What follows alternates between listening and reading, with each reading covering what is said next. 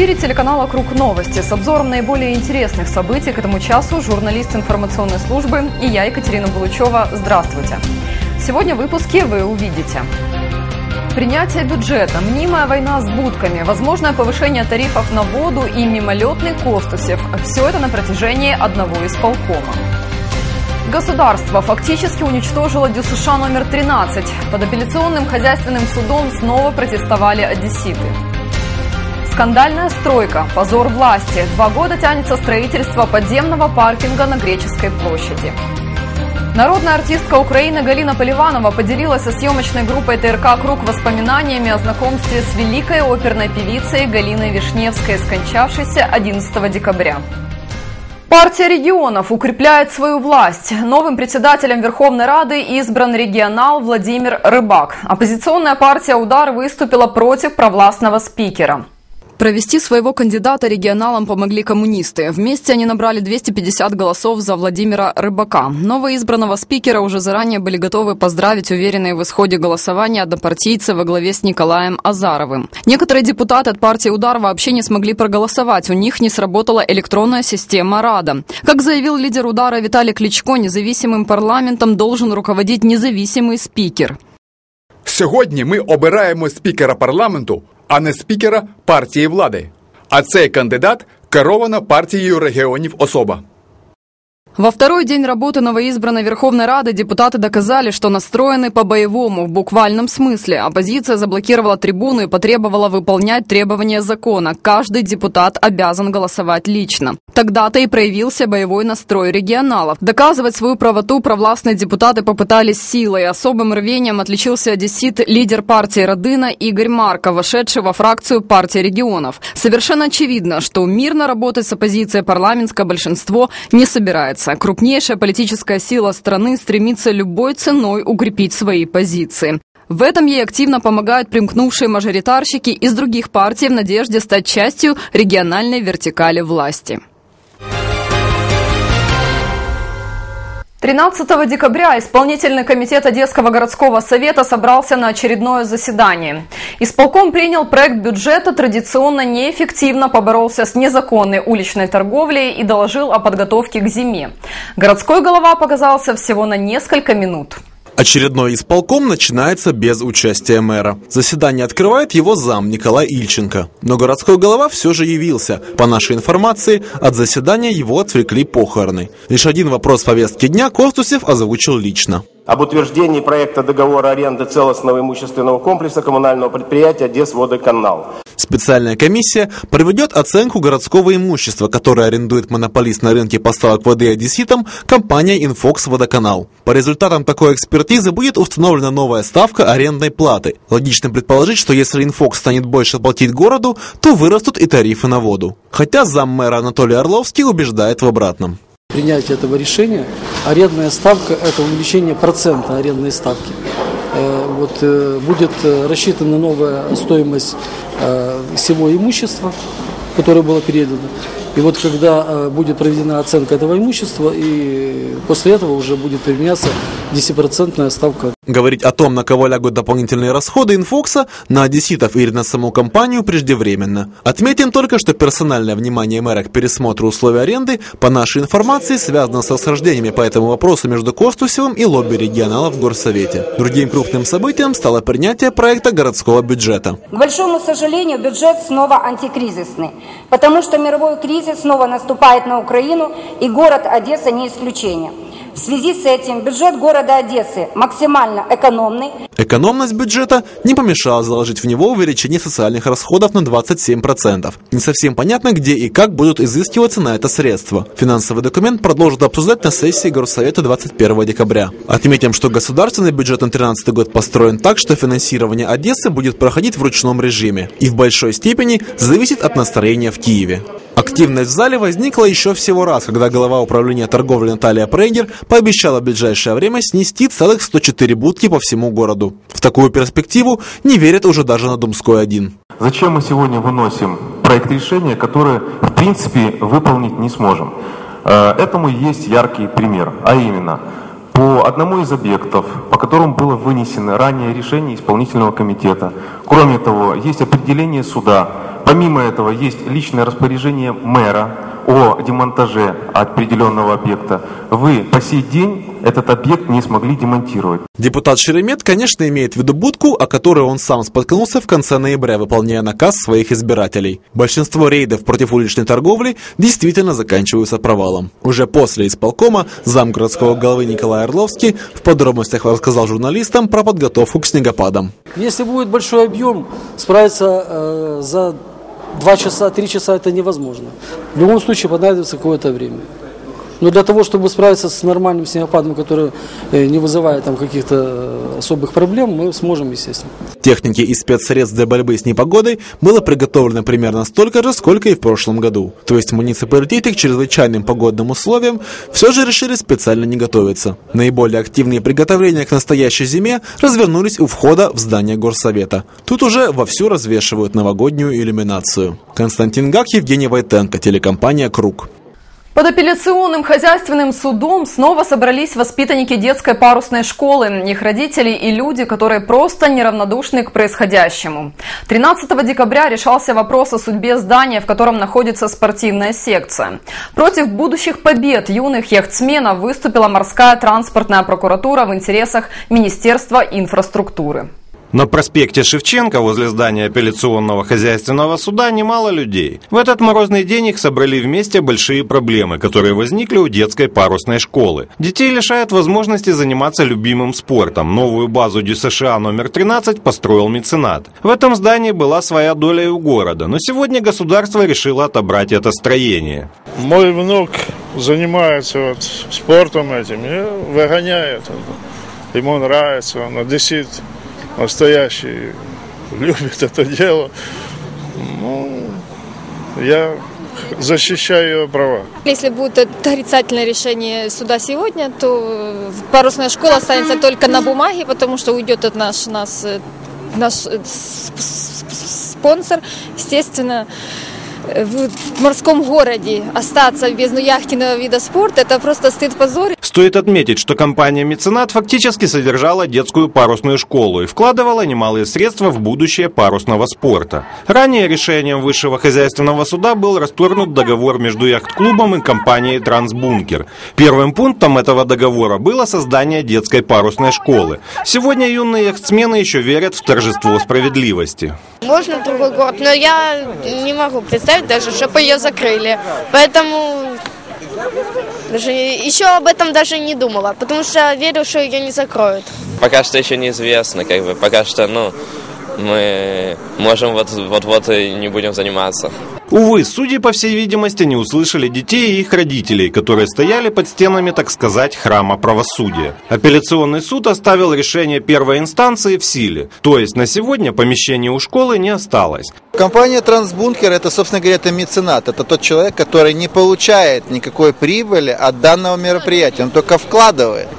И при этом, получается, я не понимаю позицию властей отобрать то, что несет золотые яйца. То есть дети – это наше золотое будущее.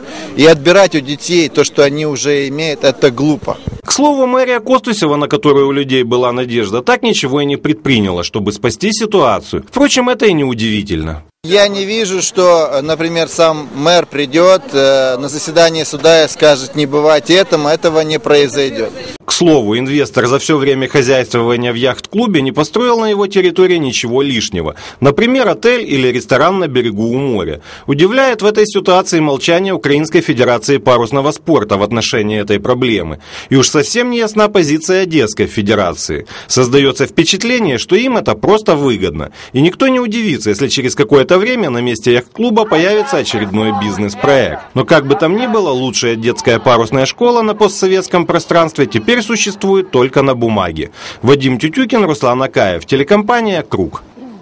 На одесских билбордах появился очередной, так сказать, креатив от мэрии Костусева. Городская власть делает себе наглый пиар на чужих достижениях. Например, открыт новый стадион «Черноморец» и подпись «Алексей Костусев». Возникает вполне логичный вопрос. При чем тут Костусев? Или он забыл, что стадион строил Леонид Климов, и город к этому имеет минимальное отношение? А вот еще один шедевр. Отреставрирован Крымский бульвар. Ранее об этом рапортовал Геннадий Труханов, утверждая, что это его заслуга. А теперь оказывается, что это достижение Костусева. И подобных заслуг перечисляется немало. Но все они не его. В некоторых странах за присвоение чужих достижений предусмотрена даже уголовная ответственность. И в конце концов, это просто неэтично. По всей видимости, у политтехнолога и советника мэра Сергея Назарова наступил кризис жанра. Он, так сказать, креативит, а экс-начальница управления рекламы и советник Костусева Лилия Рогачка переносит все это на рекламные плоскости Одессы. Интересно, в какую статью расходов пишет городская власть размещение на билбордах творчества советников? Ведь под социальную рекламу эти плакаты никак не подпадают. Одно понятно, одесситов так нагло обманывать глупо. Ведь они понимают, вклад Костусева во все эти достижения 0,0. Это ужасно. Я не хочу видеть и даже слышать об этом Костусеве. Это вообще позор для Одессы. Но я в это еще Костусев не верю. Там много кто открывал, кроме Костусева. Я так думаю, что там все-таки Черноморец, по-моему, Климов строил там. Я даже не знаю, что вам ответить. Но это неприлично и некрасиво. А почему? Ну, потому что что он его открывал, что ли? Ну, вместо Костусева я бы сказал, что я открыл. Ну, не открывал он, пускай дурака не валяет. А вообще, конечно, все это чушь собачья. Ничего в городе не делается. Так по большому счету. Греческая площадь – символ позора одесской власти. Два года назад здесь начали строить подземный паркинг. Но кроме котлована до сих пор ничего нет. Последствия безграмотного строительства уже сказались на состоянии окружающих зданий. Аварийную ситуацию усугубляют сильные дожди. Обычно после сильного дождя на месте строительной площадки образуется болото. Какое-то время строители ждут, пока вода сойдет, а точнее впитается в грунт под фундаментами соседних домов. Очевидно, уровень грунтовых вод настолько поднялся, что земля не может впитывать влагу, а значит площадь уже подтоплена. Полгода назад одна из стен котлована неожиданно рухнула. Появилась угроза разрушения двух бизнес-центров – Посреди центрального зала Афины пошли трещины. Есть они и на балконах здания, а под полом нижнего технического этажа каждый раз собирается подземное озеро. Строители паркинга как будто испытывают на прочность работу своих коллег.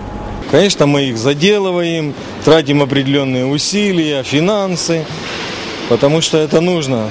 Вся вода попала на наш, на наш э, фундамент, на наш э, на наше здание, естественно, распределилось куда? Там, где есть э, нижние точки. Так как у нас паркинг минус второй этаж. Естественно, мы включили свои все насосы, собрали людей, швабры, собирали воду эту быстро. Проседает грунт и перед соседствующим с Афиной недавно построенным бизнес-центром Ольвия. Над головами обеих кариатид явно видны широкие щели. Портик опускается в сторону котлована. Строительством паркинга обеспокоились и члены областной общины греков. Восстановленное несколько лет назад здание греческого фонда культуры, памятник архитектуры, один из старейших в городе. Это вообще возмутительно. Понимаете, я считаю, что если берешься в центре города строить, ты должен полностью оценить свои возможности, оценить свои финансы, оценить свои силы, а потом уже начинать строить так, чтобы стать, построить и уйти.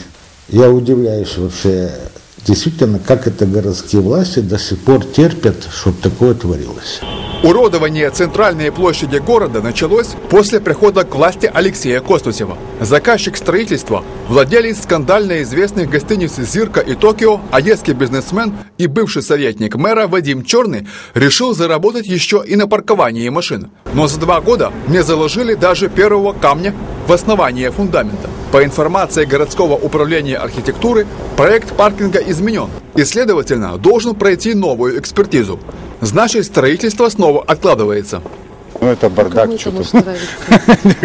Какое может быть мнение? Ну, ужас. Больше такое не же, такое, такое же, да, совершенно. да. Наверное, хорошего все-таки мало. И нужно восстановить, было бы то, что раньше здесь было. Как-то сохранить этот исторический центр. Ужасно. Вот мы идем и возмущаемся, честно говоря. Мы говорим, что народ абсолютно не понимает, где он находится. Мы живем, вот мы старые одесситы, мы живем просто на мусорной свалке. Ухудшает, конечно, вид по сравнению вот с прекрасным зданием, вот э, зеленое возле пассажа построили, красиво очень. Если начинать строить, так надо строить.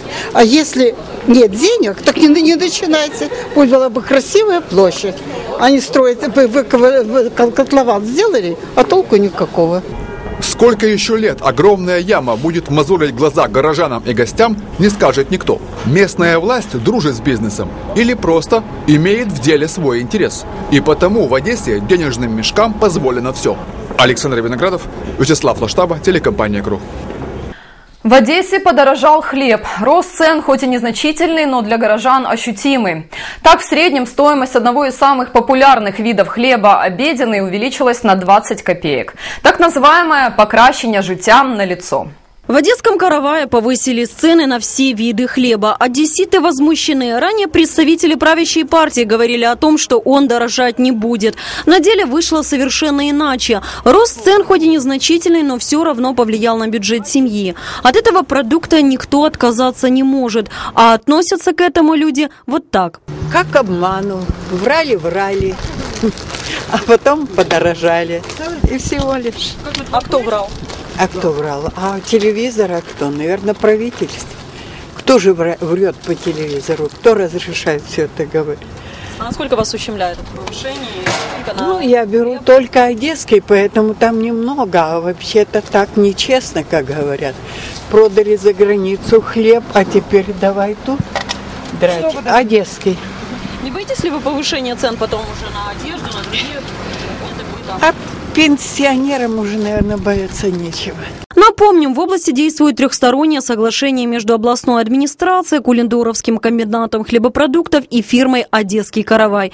Согласно этому документу, производители хлеба обязались не повышать розничные цены на хлеб и ограничить уровень своей прибыли. Обл. администрация со своей стороны датирует производство в случае необходимости. Так, в нынешнем году на эти цели в бюджете области было предусмотрено более 6 миллионов гривен. На этапе сборки урожая э, выделяется определенные средства с областного бюджета для закупок зерна у аграриев области. Соответственно, э, компенсируется стоимость между рыночной и та, которая необходима для удержания цен на муку и на хлеб. И тут, разумеется, закладывается нехорошая мысль, а использовались ли эти деньги по назначению? Не связано ли это случаем с недавней избирательной кампанией? В любом случае очевидно, если власть придержащая клянутся, что цены на те или иные товары повышаться не будут, значит можно быть уверенными, повысятся точно, как и в ситуации с хлебом. В итоге, как всегда, все расходы его производителей теперь будут нести покупатели. Мы ничего не можем сделать. Конечно, неприятно немножко. Ну, Скажите, ожидаете вы дальше повышения цен на продукты питания, одежду? Да, конечно. Говорят, что будет повышение. Ну что ж, будем привыкать и к новому повышению. Конечно, задевают. У кого дети есть, как можно жить так? Так и живем. А как вы отнеслись к подорожанию хлеба? Как отнеслись? Оно незаметно вроде бы на 20 копеек, но все равно. Изо дня в день цены растут, и живи как хочешь. На мизерную зарплату. Фактически вы сегодня выживаете? Выживаем, конечно. Как вы думаете, а город должен как-то контролировать? Конечно, должен. Ну, во-первых, это депутаты. Наши живут хорошо, они не ощущают. По карману их нему не бьет. Как оказалось, представители правящей партии в очередной раз наобещали, а к делу так и не перешли. За все будут рассчитываться одесситы, кошельки которых несравнимо тоньше, нежели у тех, кто находится сегодня у власти. Ирина Мунтян, Вячеслав Лаштаба, телекомпания «Круг». На тротуары по улице Новосельского сложно смотреть без слез. Многочисленные обращения граждан в мэрию не дали никакого результата. Ответ один – денег нет. 13 декабря рабочие приехали на Новосельского засыпать яму, сделанную во время проведения ремонтных работ теплосети. Но самосвал задним колесом ушел под землю. Счастье, что люди при этом не пострадали. Уважаемый Алексей Алексеевич, нас возмущает ваше равнодушие к, к нашему городу. Значит, за последние годы наш город полностью разрушается. Наши тротуары в центре города вообще невозможно ходить. Этот м, участок тр- тротуара между Дворянской и э, Толстого находится консерватория. Кажется, студенты ходят, э, матеря молодые с, с колясочками проезжают, инвалиды на колясках, слепые люди, вообще люди. Здесь вообще невозможно ходить. Кончина оперной дивы Галины Вишневской стала настоящим потрясением для ценителей ее творчества, несмотря на преклонный возраст народной артистки СССР. Своего гениального мужа Мстислава Ростроповича Галина Вишневская пережила более чем на пять лет. Воспоминаниями о знакомстве с великой певицей с нашей съемочной группой поделилась народная артистка Украины, профессор, академик Галина Поливанова. Будучи ведущей солисткой Большого театра, Людмила Вишневская исполнила более 30 партий. Татьяну в Евгении Онегине, Лизу в «Пиковой даме», Купаву в «Снегурочке» и многие другие.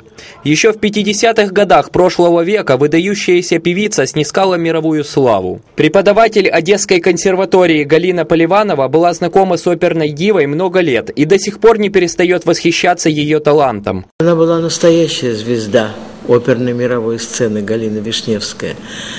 И по своему дарованию, и по своему голосу, и по своему внешнему виду, музыкальности, актерской одаренности. Это необыкновенная творческая глыба индивидуальность. Несмотря на потрясающую карьеру, были в жизни Галины Вишневской и нелегкие периоды. За помощь выдающемуся русскому писателю Александру Солженицыну советские власти начали настоящую травлю гения оперной сцены. Галина Вишневская со своим супругом Стеславом Ростроповичем в 1974 году вынуждена была покинуть Советский Союз. Их лишили гражданства Советского Союза. И они оба таких колоссальных музыканта уехали. Они пострадали где-то морально. Но мир их принял очень тепло. В Америке много было спектаклей, в Англии, во Франции. Во Франции они обосновались, они, у них там был дом, там две дочки родились у нее. Во время перестройки гениям отечественной сцены удалось вернуться на родину, им вернули гражданство.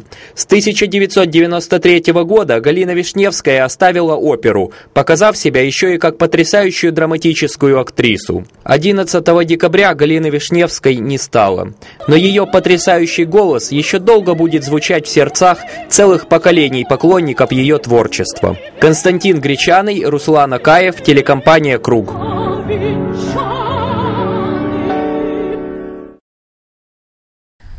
Еврейская община Одещины продолжает отмечать Хануку. В еврейском культурном центре Бейт Грант открылась выставка картин, приуроченная к празднику Хануки. Два десятка работ представили пять одесских художников. В проекте принимают участие как известные мастера кисти и красок, так и молодые таланты. Если большинство работ участников проекта создают праздничное настроение, то одесский художник Стас Жалобнюк представил картины, которые перекликаются с грустными страницами истории еврейского народа. Также его работы обращены к культовым символам иудеев. Ну, этот филин, всем известный, как вы понимаете. Там э, свиток, э, собственно, Торы, ну, не, не свиток Торы, а фрагмент Торы.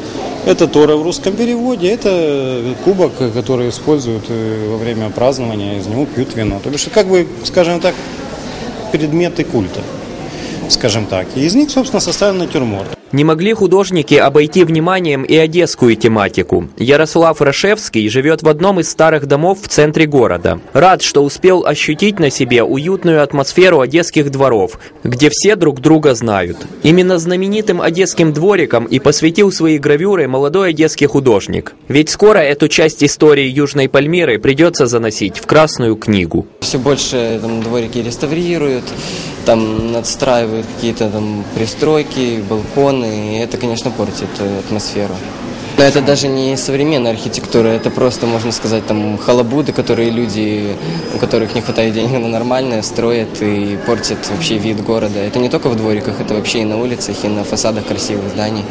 Это, к сожалению, у нас в городе очень это распространено. Ознакомиться с представленными на выставке работами одесситы смогут в холле еврейского культурного центра Бейт Грант до конца месяца. Константин Гречаный, телекомпания «Круг». На сегодня у нас все. Далее информация синоптиков о погоде. А я напоминаю, новости телекомпании «Круг» всегда доступны онлайн по адресу kruг.com.ua. Если вы стали свидетелями резонансных событий, информируйте наших журналистов. Обо всем важном и интересном сообщайте в редакцию по номеру 342076. Всего наилучшего и до встречи в эфире.